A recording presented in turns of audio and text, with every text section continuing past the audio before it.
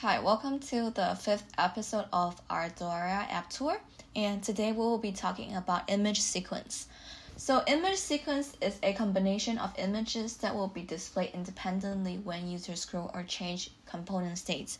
So, you can bring in images and create like a scroll animation. This is very convenient.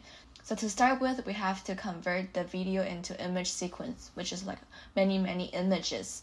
And the way to do that is just to search image sequence online and click into these converters. It's very convenient. And then just upload your video.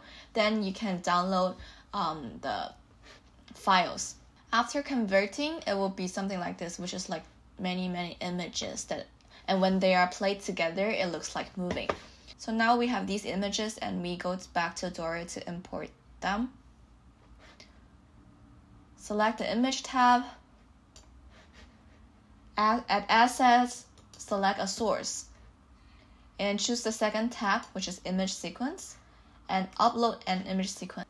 So from the first one to the last one, select all of them, click Open, and then name it. So to animate this image sequence, what we could do is like select this and add a keyframe at a point, and now the current frame is at 1 and then later